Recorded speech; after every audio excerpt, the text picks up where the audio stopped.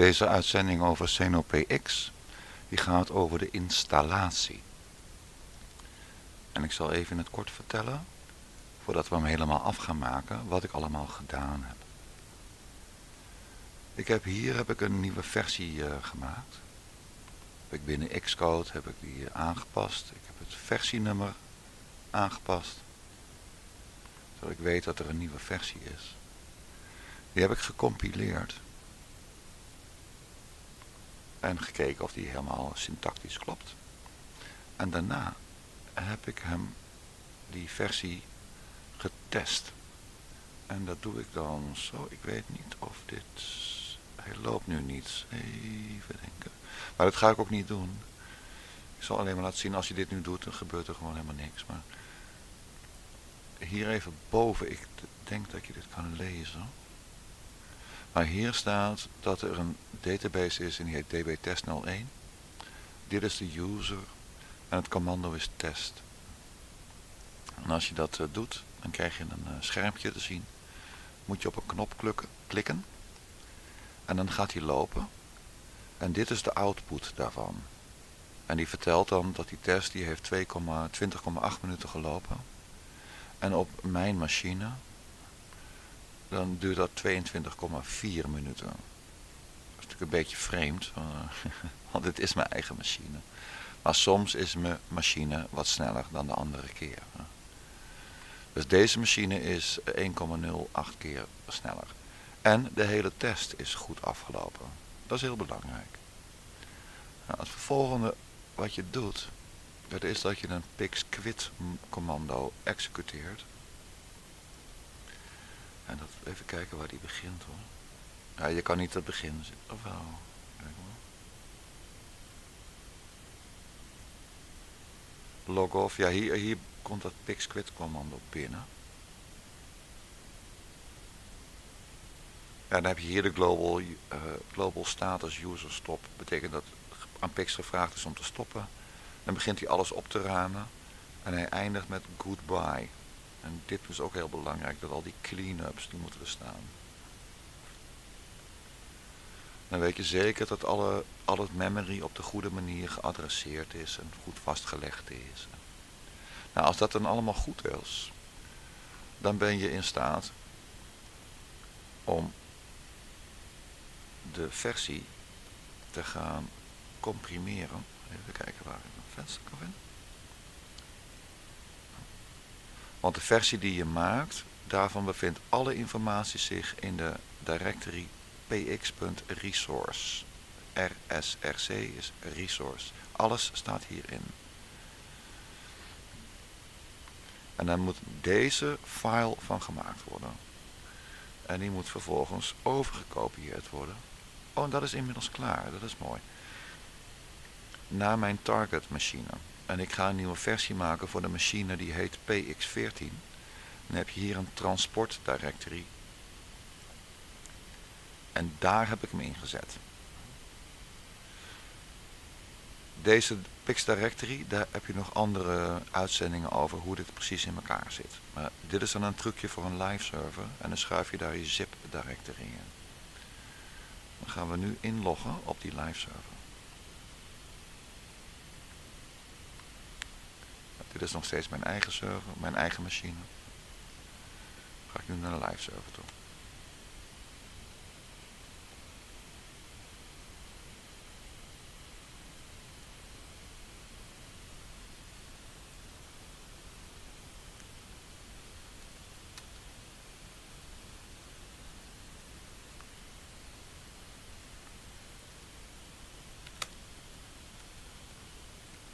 Sorry voor de typfout. Nou, nu schakel ik even over naar bash mode.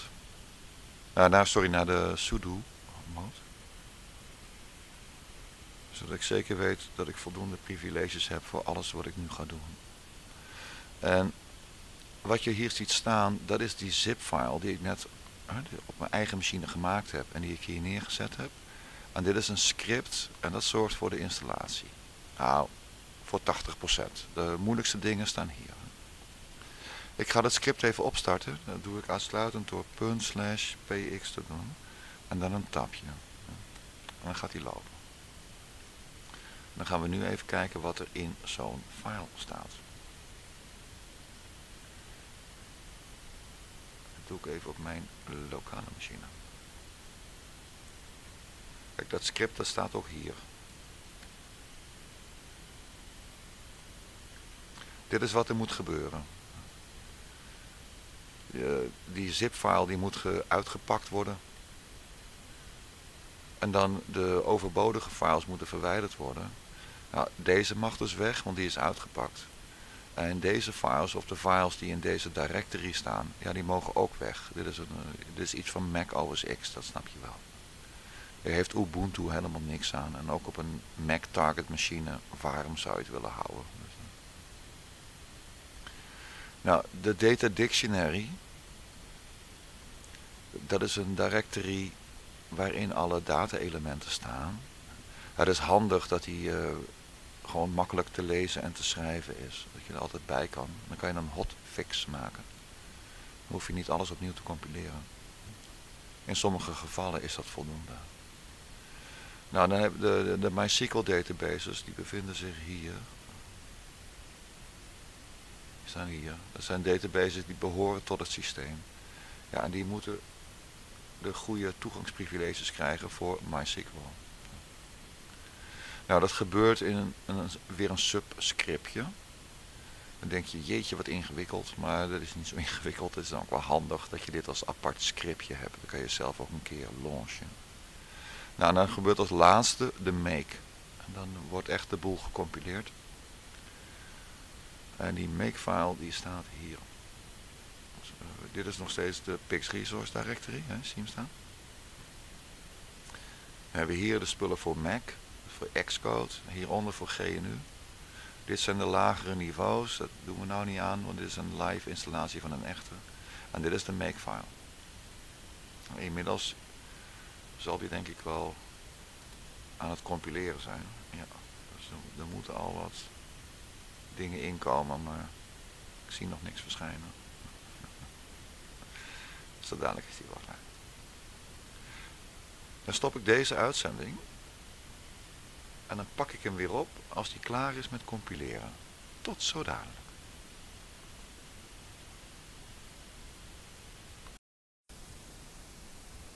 Dit is het vervolg van de uitzending over de installatie.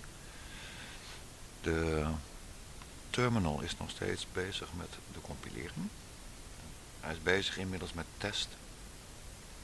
En dan kan ik jullie laten zien hoe ver die dan is. Mijn netwerk is een beetje traag, of de machine is traag om die files door te geven. Maar hier staan ze. Dit zijn alle objectfiles die uh, tot nu toe op dit moment zijn aangemaakt zijn er nogal wat. Dat, die makefile die wordt automatisch gegenereerd. Dus uh, dat moet allemaal kloppen. Nou, hij is nog steeds bezig in de test. En dan moet hij nog tegen de het ding. Krijgt hij nog een library. Ik kan even laten zien. Dat gaan we niet allemaal afwachten hoor. Ik ga zo dadelijk wel weer even op de pauze button drukken. Maar hij moet hier nog doorheen. En dit is de laatste. Dus. Die zien we zo wel. We pakken zo dadelijk weer op als hij helemaal klaar is met compileren. Tot zo.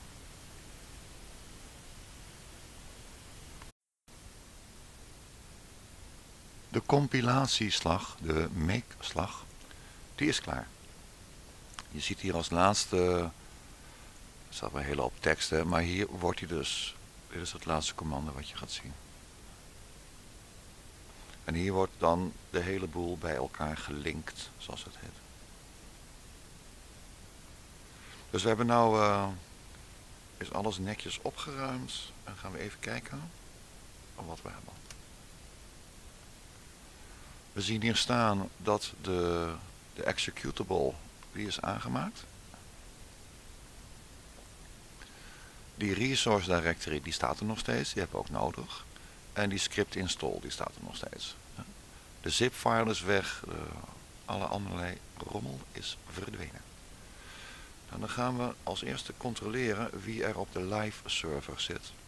En dan sta je hier, er staat een idle tijd bij. En ik, ik zie zo'n beetje dat de laatste, dat is Hans. Dat is een hele aardige vent. Die kan ik misschien even gaan bellen. ik ga hem eventjes herstarten. Maar hij is al een kwartiertje niet bezig geweest. Hij heeft waarschijnlijk net een factuur geprint. En ik wil die man ook niet lastigvallen.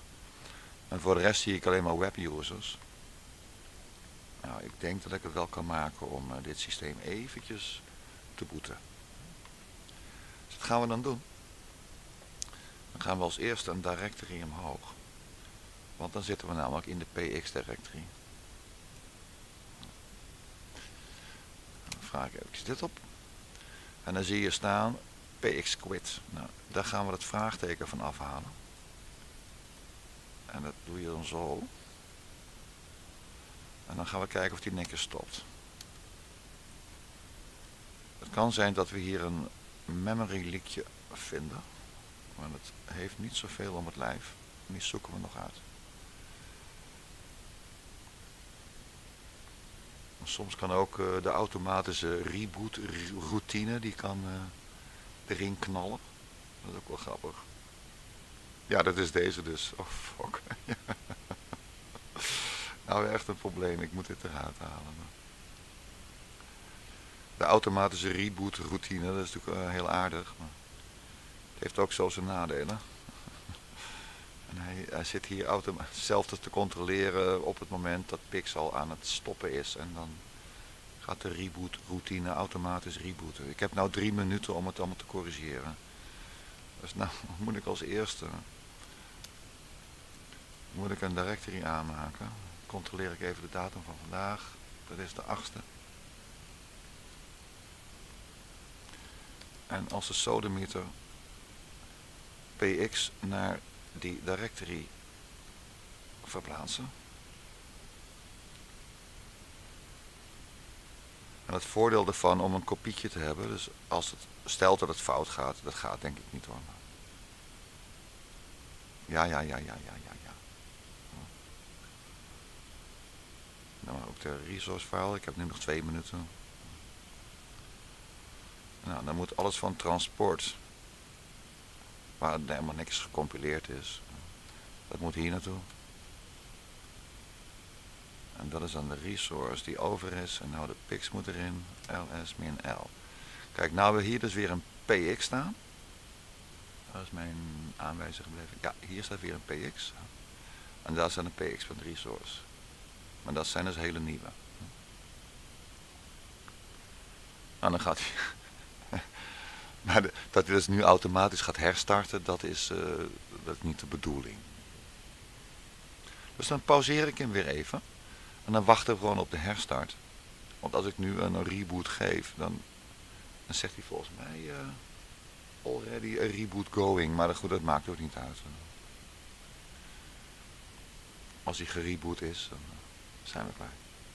Dus uh, tot zo dadelijk.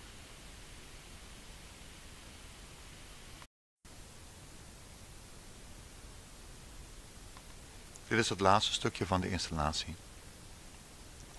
Ik ben opnieuw ingelogd op de doelserver. En ik sta in deze directory, het is maar hoe je het wil noemen.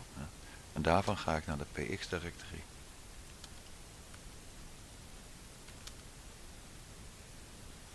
Nou, de machine heeft inmiddels geherstart en dan gaat Pix onmiddellijk lopen. Daar hebben wij een opstart script voor gemaakt. En dan zie je hier de logfile lopen. Kunnen we zaken even gaan bekijken. Laat maar gelijk even doen. Oh, sorry. Hij loopt momenteel. Er zijn ook mensen binnen. Gaan nog even kijken op de server of die weer helemaal terug is. Pakken we hier even de website van FC Almere. Hartstikke leuke voetbalclub. Nou, komende zaterdag hebben ze deze wedstrijden, dus uh, nou, dat zal wel goed zijn. Dus deze installatie is helemaal gelukt. Nou, dank jullie wel voor het kijken, want veel meer werk is het niet. En de achterliggende gronden, daar kan ik later nog een keer op ingaan. Maar voor nu, tot de volgende.